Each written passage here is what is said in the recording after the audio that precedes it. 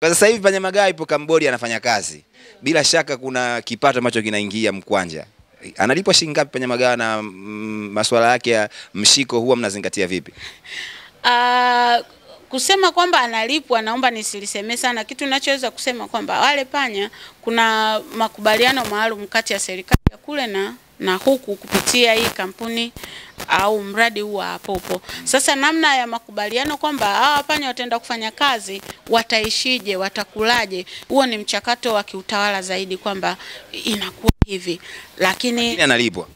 tunaamini kwamba kwa kile ambacho kinafanya atunzwe ndicho anachostahili kukipata ili aweze kutusaidia kutuonesha mabomu na kuokoa maisha. Eh, kule sipo kazini Cambodia. Yupo kazini. Mtu akifanya kazi lazima kitu kiingie.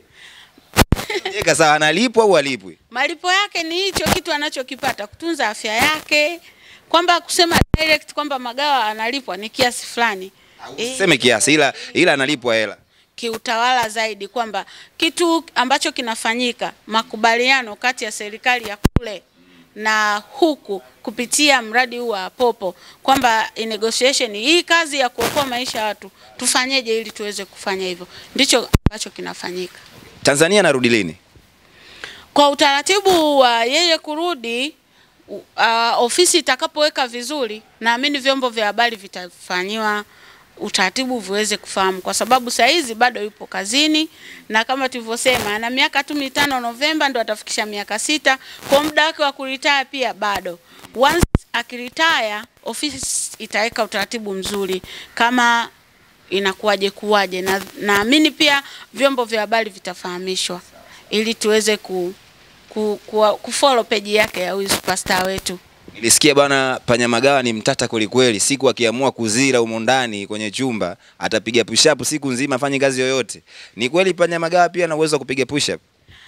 Panya huyu kwanza, mimi kama mkufunzi nasema panya huyu ni rafiki wa watu sana.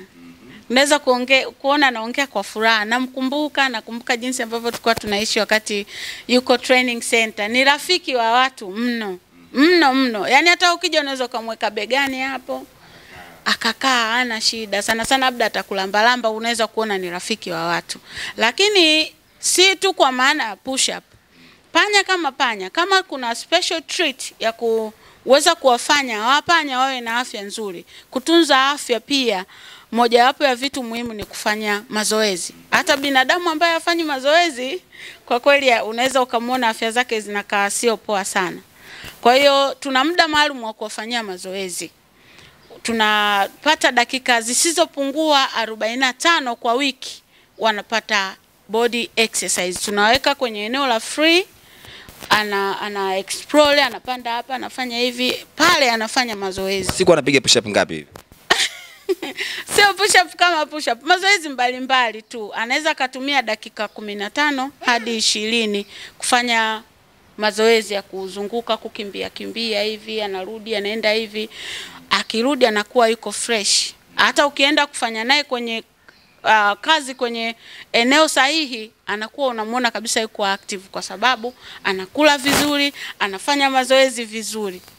Sawa, kwenye uzao wake wa panya magawa labda ana baba, mama au wajukuu pia tayari au watoto yeye mwenyewe ili kuwatengenezea zaidi vizazi vingine vya panya kama hawa. Anao baba na mama, lakini anao dada na kaka, kwa sababu yeye mwenyewe pia kama nilivyosema, bado yuko anafanya kazi kwa sasa.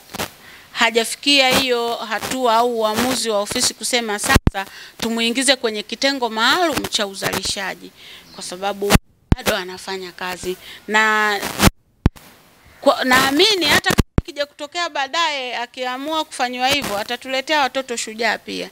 Kwenye kizazi chao kuna watoto shujaa pia. Ni, ni, ni kweli bwana Panyamagawa sasa hivi yuko single na hataki mwanamke yoyote panya wote wa kike akatize mbele yake pale eti. Eh, is true. Yuko kikazi zaidi kwa sasa. Ila kwenye masuala ya mahusiano vipi? Hatuwezi kusema kwamba ameingia kwenye mahusiano toka tulivyomwanzisha mafunzo mpaka amefanya internal accreditation, akaenda kufanya external accreditation kule, bado anaishi peke yake, ana focus kazi. Kwa hiyo kazi kwanza ya kuokoa maisha ya watu. a, Kwenye hili eneo la mahusiano kidogo hayuko familia nayo kwa sasa. Kwa sababu Hataki. s- tumemwekea mazingira Tamchanganya. ehe, kwamba saizi ya focus kwenye kuokoa maisha ya watu.